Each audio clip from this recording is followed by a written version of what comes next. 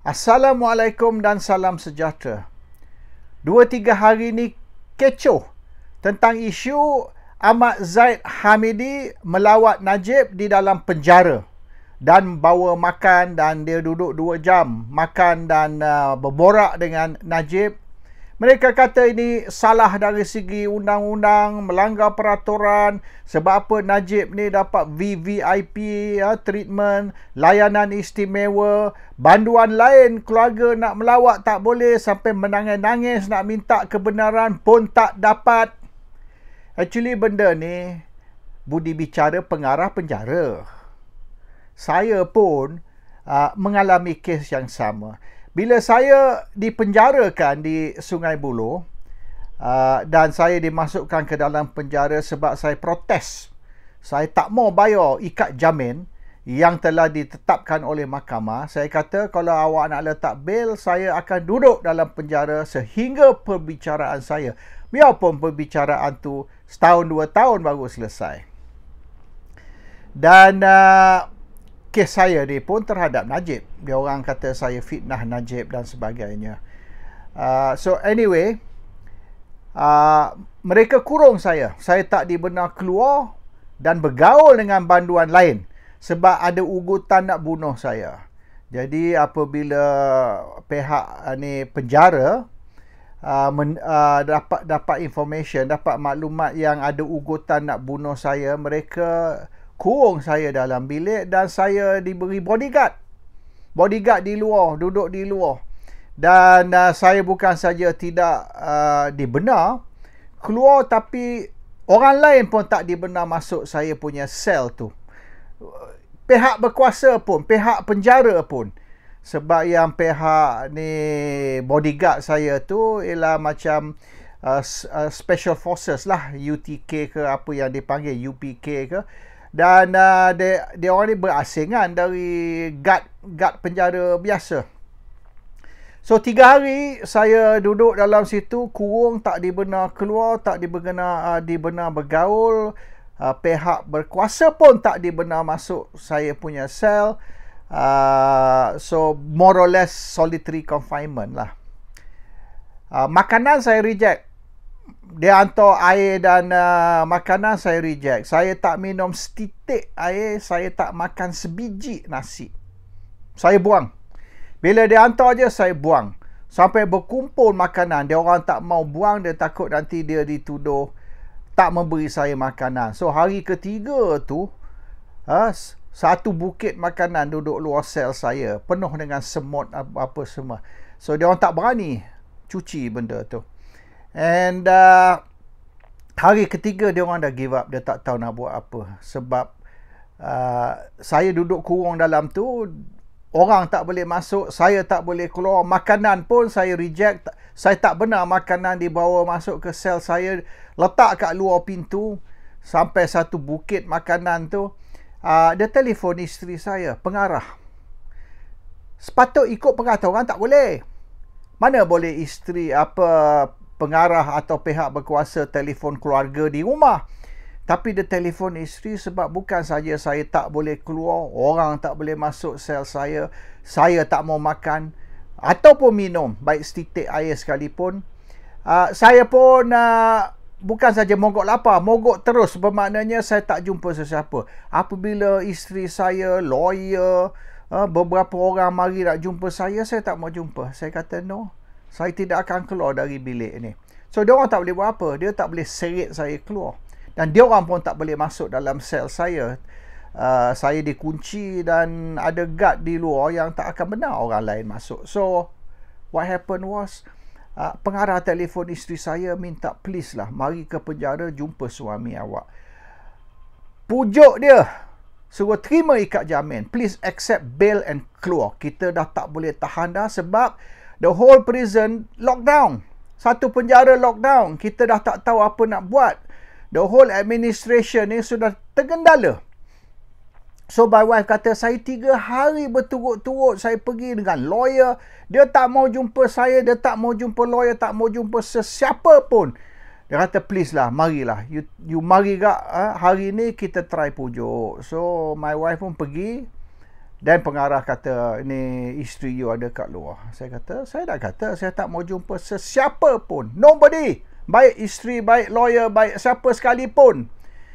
Uh, dia kata, oh, tolonglah. Isteri you dah empat hari berturut-turut datang dan dia duduk kat luar berjam-jam dia tunggu dia tak mau balik dia takut maybe ah you tukar fikiran maybe you change your mind. So dia duduk berjam-jam tu tunggu tunggu hingga closing time. Bila dah time visiting hours habis baru dia balik. Kesian isteri you lah. Pagi sampai petang dia duduk dah tiga hari ni dah hari keempat ni. Saya okey lah. So saya pergi uh, saya setujulah dan saya jumpa isteri saya. Dia kata saya saya boleh beri. Actually dia kata visiting 45 minit tapi tak apalah you ambil masa lah 2 jam ke it's okay. Uh, take your time. Kita tak had uh, 45 minit untuk you. Dan uh, saya jumpa bukan di tempat biasa di mana ada gelap tak ada. Jumpa dalam office pengarah.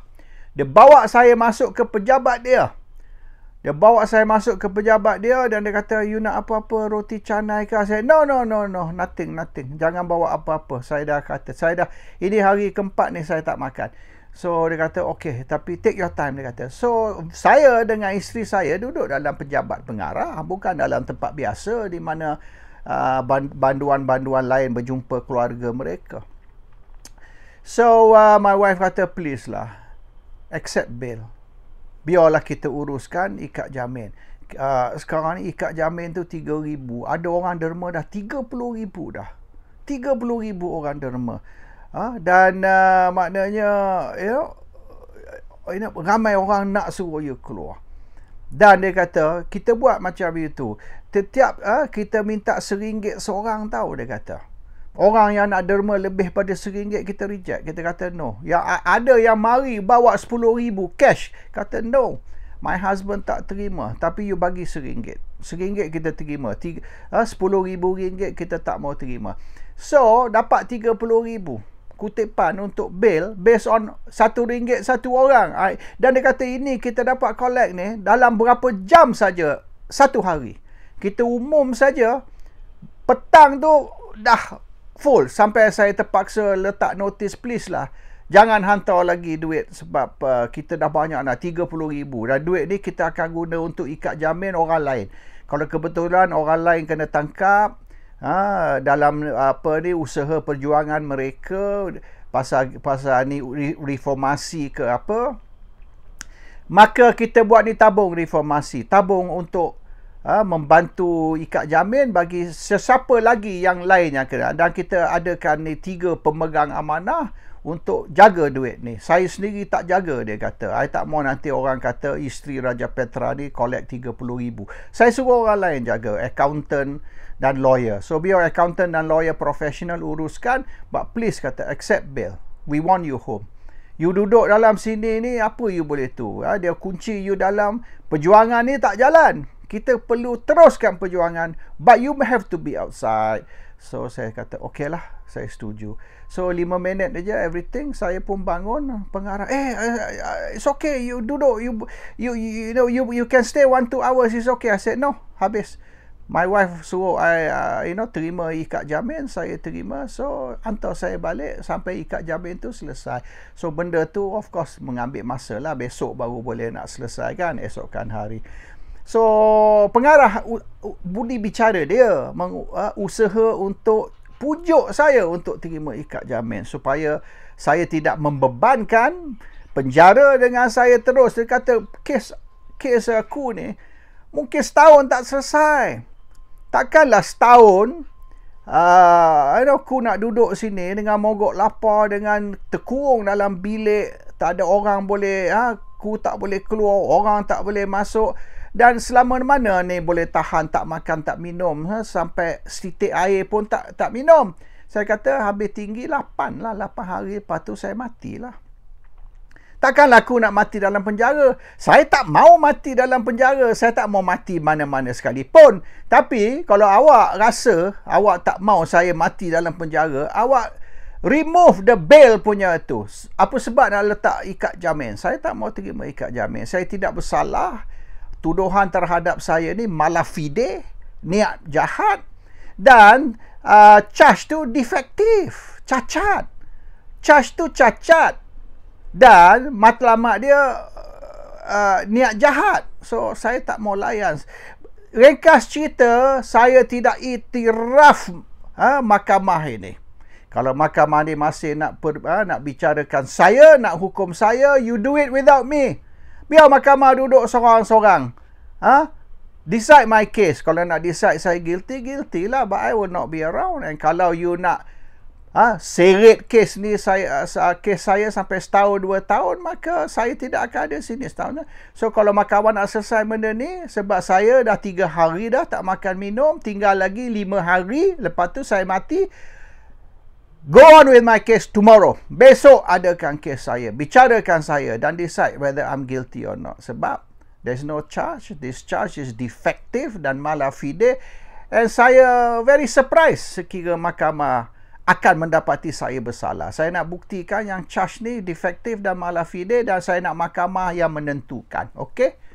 So, have my case tomorrow.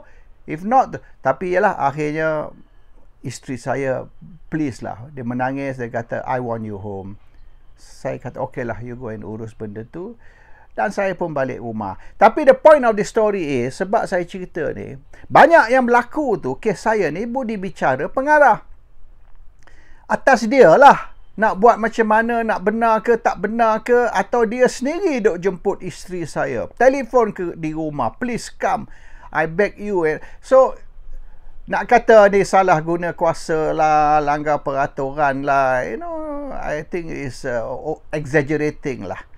Zaid melawan Najib ni eh, bukanlah isu lah actually. Carilah isu lain, isu lebih penting. Kalau nak nak, nak ini pun macam ringgit ni dah goncang, ha? macam dia dok cerita pelabur, ha? pelabur asing masuk ke Malaysia. Dia orang cerita pelabur asing masuk ke Malaysia. Dia orang tak cerita pelabur yang tarik duit dan keluar Malaysia. You talk about how much. Ini macam cerita, oh saya gaji saya RM10,000 sebulan. Tahu, I got 10,000 a month, my gaji. Apa, biarlah, tapi perbelanjaan kau RM15,000.